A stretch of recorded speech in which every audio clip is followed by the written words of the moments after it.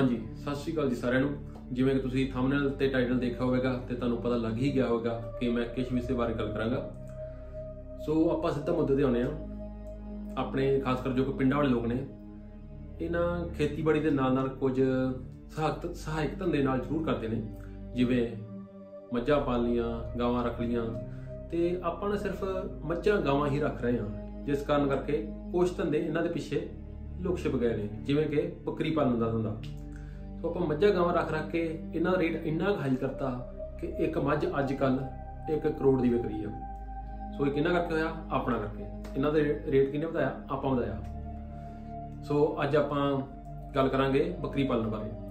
ਸੋ ਇਸ ਤੋਂ ਪਹਿਲਾਂ ਮੈਂ ਵੀ ਤੁਹਾਨੂੰ ਥੋੜੀ ਆਪਣੇ ਬਾਰੇ ਜਾਣਕਾਰੀ ਦੇ ਦੇਵਾਂ। ਮੈਂ ਪਹਿਲਾਂ ਬਾਹਰ ਸੀ ਟਰੱਕ ਡਰਾਈਵਰ ਦੀ ਜੌਬ ਕਰਦਾ ਸੀ। ਸੋ ਕਿਸੇ ਕਾਰਨ ਕਰਕੇ ਮੁੜ ਕੇ ਵਾਪਸ ਮੈਂ ਨਹੀਂ ਗਿਆ ਤੇ ਮੈਂ ਇੰਡੀਆ ਵਿੱਚ ਹੀ ਹਾਂ ਹੁਣ। ਤੇ ਮੈਂ ਸੋਚਿਆ ਕਿ ਹੁਣ ਇੱਥੇ ਆਪਾਂ ਆਪਦਾ ਕੰਮ ਸ਼ੁਰੂ ਕਰੀਏ। ਸੋ ਆਜੋ ਪਹਿਲਾਂ ਵੀਡੀਓ ਚਾਲੂ ਕਰਨ ਤੋਂ ਪਹਿਲਾਂ ਆਪਾਂ ਤੁਹਾਨੂੰ ਆਪਣਾ ਛੋਟਾ ਜਿਹਾ ਫਾਰਮ ਦਿਖਾਉਂਦੇ ਆ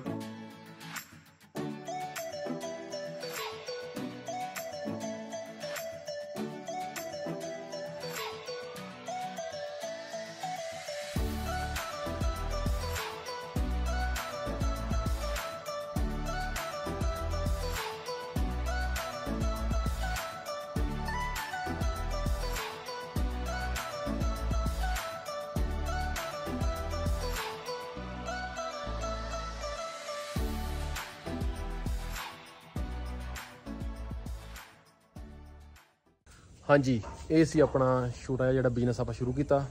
ਉਹਦਾ ਆਊਟਲੁੱਕ ਸੋ ਇੱਕ ਮਿੰਟ ਬੈਕ ਕੈਮਰਾ ਲਓ ਜੀ। ਇੱਧਰ ਇੱਕ ਪੋਰਸ਼ਨ ਆ। ਇਹਦੇ ਵਿੱਚ ਆਪਣੇ ਵੱਡੇ ਜਾਨਵਰ। ਨਹੀਂ, ਇੱਧਰ ਛੋਟੇ ਜਾਨਵਰ। ਕਿਉਂਕਿ ਛੋਟੇ ਜਾਨਵਰ ਥੋੜੇ ਜ਼ਿਆਦੇ ਆ। ਉਹ ਇਸ ਬੰਨੇ ਰੱਖੀ ਦੇ। ਤੇ ਆ ਇੱਕ ਪੋਰਸ਼ਨ ਛੋਟਾ। ਇੱਧਰ ਆਪਣੇ ਰਹਿੰਦੇ ਵੱਡੇ ਜਾਨਵਰ।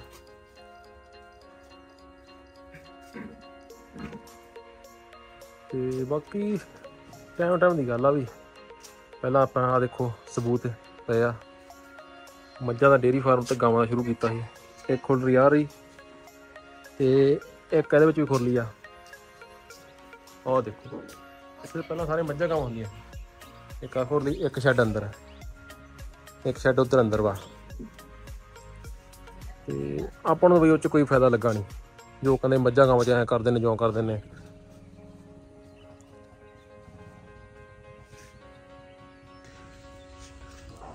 ਹਾਂਜੀ, ਚਲੋ, ਬਾਕੀ ਆਪਾਂ ਦੱਸਦੇ ਨੈਕਸਟ ਵੀਡੀਓ 'ਚ ਵੀ ਆਪਾਂ ਬੱਕਰੀਆਂ ਨੂੰ ਕੀ ਪਾਉਨੇ ਆ ਕੀ ਫੀਡ ਪਾਉਣੀ, ਕੀ ਪੱਠੇ ਪਾਉਣੇ ਜਾਨੀ ਕੀ ਹਿਸਾਬ ਕਿਤਾਬ ਹੁੰਦਾ ਨਾ, ਸਾਰੀ ਡਿਟੇਲ ਦਿੰਨੇ ਨੈਕਸਟ ਵੀਡੀਓ 'ਚ। ਜੇ ਆ ਵੀਡੀਓ ਤੇ 10 ਲਾਈਕ ਲਾਈਕ ਆ ਜਾਣ, ਆਪਣੀ ਪਹਿਲੀ ਵੀਡੀਓ ਆ ਉਮੀਦ ਕਰਦੇ ਹਾਂ 10 ਲਾਈਕ ਆ ਜਾਣ ਤਾਂ ਆਪਾਂ ਨੈਕਸਟ ਵੀਡੀਓ ਪਾਉਨੇ ਆ ਦੇਖੋ ਵੀ, ਕਰੋ ਫਿਰ 10 ਲਾਈਕ ਦਿਓ ਮੋਟੀਵੇਸ਼ਨ ਥੋੜੀ ਕੁ।